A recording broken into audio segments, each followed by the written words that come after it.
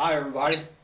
Uh, the word the Lord gave me for today, uh, I started getting it the other day. I was standing at the back door and uh, I was watching all the birds. And this scripture came to my mind out of Matthew, the sixth chapter, how God takes care of them. And I was watching the birds. They were landing in the trees, getting on the ground, uh, looking for food, whatever it was it's doing. But, uh, you know, they just was so carefree. They just flying around doing their thing.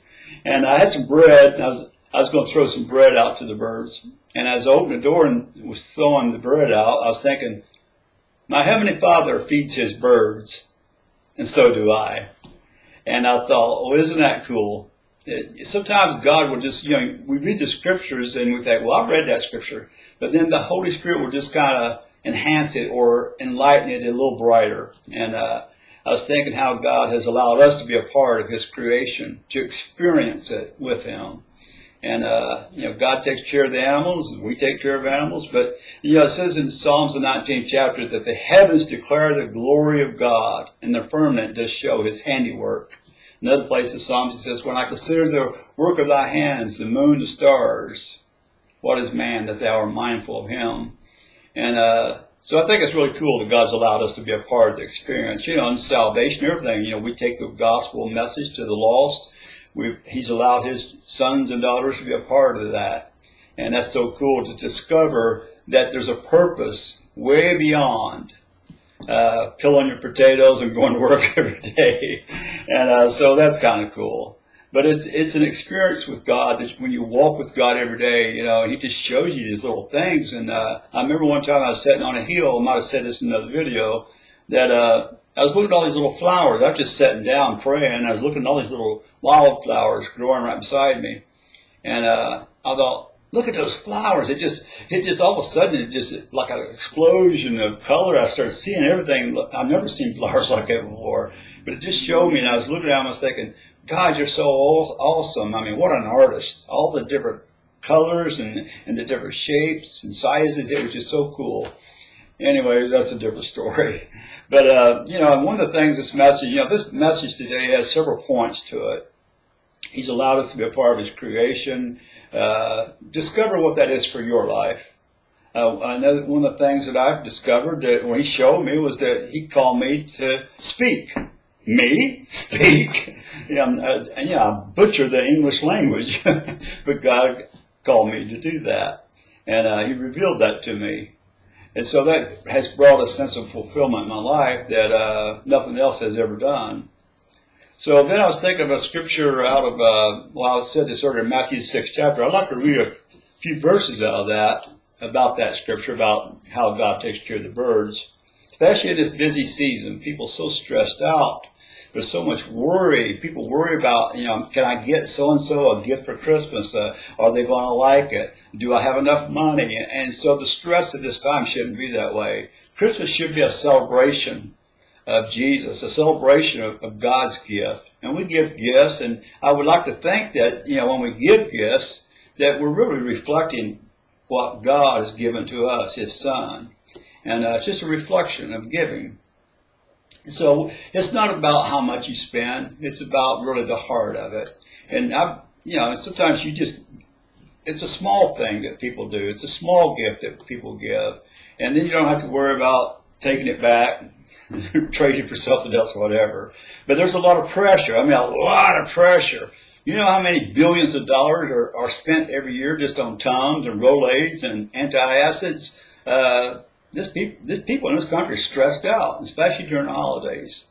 But anyways, I'm going to get to the word. And uh, I'm going to be reading out of an English version, uh, sixth chapter of uh, Matthew, and starting at verse 25. It says, that is why I tell you not to worry about everyday life, whether you have enough food or drink, or enough clothes to wear. Isn't life more than food and your body more than clothing? Look at the birds. They don't plant or harvest or store food in barns, for your heavenly Father feeds them. Aren't you much more valuable to Him than they are? Can all your worries add a single moment to your life? And why worry about your clothing? Look at the lilies of the field and how they grow. They don't work or make their clothing. Yet Solomon in all his glory was not dressed as beautiful as they are. And if God cares so wonderfully for wildflowers that are here today and thrown into the fire tomorrow, he will certainly care for you. So why do you have so little faith? So God takes care of birds. You know, worry doesn't add a thing to our lives. All it does is tear down.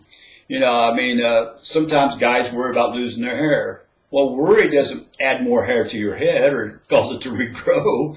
Worry doesn't make me taller if I worry about my height. Worry doesn't do nothing but bring stress and turmoil to your mind. If there's been one word that God has spoke to me over the years, more than any other word, it's don't worry. I must be a worrier. Don't worry. And, and not to worry really is to, is, worry is actually an opposite of faith. So if you're not worrying, you, are trusting God. So trust God. And uh, especially during this holiday season that's coming up, uh, Christmas. Uh, we just got past Thanksgiving. So all these different days that we have, people get all stressed out about it. And we don't have to be stressed out about it.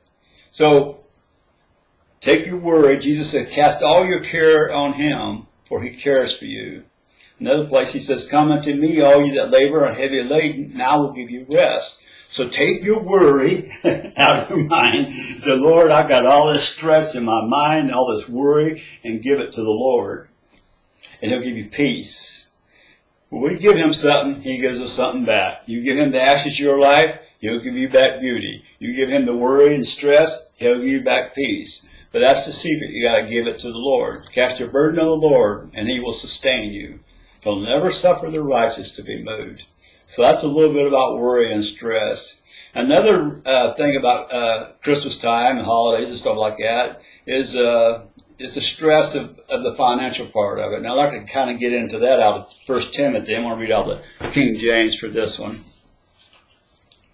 Uh, he says in uh, 1 Timothy chapter 6, but godliness, in verse 6, but godliness with contentment is great gain. For we brought nothing into this world, and it is certain we can carry nothing out. And having food and raiment, let us be therewith content. But they that will be rich fall into temptation and a snare, and into many foolish and hurtful lusts, which drown men in destruction and perdition. For the love of money is the root of all evil. Uh, while, well, I'm not finish it, which while some coveted after they have erred from the faith and pierced themselves through with many sorrows. But the word be content. And that's the whole, that's one of the big keys in keeping yourself worry free is to be content. You know, right now, this time of year, credit cards are maxed out to the max, uh, buying gifts and stuff. It's not your birthday. Anyway, somebody told me that one time. It's not your birthday. That's true. But, uh, they're maxing out and then they spend the rest of the year paying off that debt. And a lot of times, and you know this is true, people get gifts and they don't want them. It's just out of some kind of a pressure. This world, ha- this world has a pressure to buy and to give during Christmas time, and uh, it's it's not normal. It's not reflecting what Christmas is truly about. I mean, if you really want to be a great blessing this Christmas, tell someone to take what they're going to spend on you and go give it to some homeless person or buy some clothes for some little child that doesn't have no nothing. Then you'll be reflecting more about what Christmas is really about. But it's all about me and giving my stuff for Christmas, isn't it? Now I understand that for little kids, but as we grow up, we should lay aside childish ways. Anyways, that's another story. Uh, Jesus said in Luke, the 12th chapter, he says, Beware of covetous, for your life does not consist in the abundance of things you possess. So, contentment. I don't have to have the latest gadget. I don't have to have that new cell phone. I don't have to have an extra one of these. If this is working, it's this Bible. I don't need another Bible, though I got a lot of Bibles. but uh, it's not wrong to have some stuff. It's just when it becomes our God or it becomes an idol in our life, and that's the problem with it. You know, uh, you know, anytime you max out your credit card. Anytime you borrow, the Bible says in uh, Proverbs 22nd chapter, it says the borrower is servant to the lender.